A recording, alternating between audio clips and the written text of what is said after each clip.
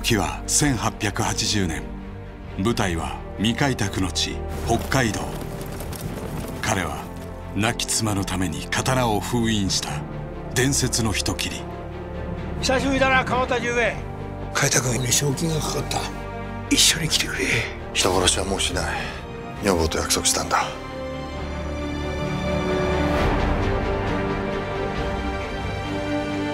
賞金なんか欲しがるやつはこの通りだ人を切って切って切って最後には誰かに切られて死ぬ。ただそれだけの人生だと思ってた。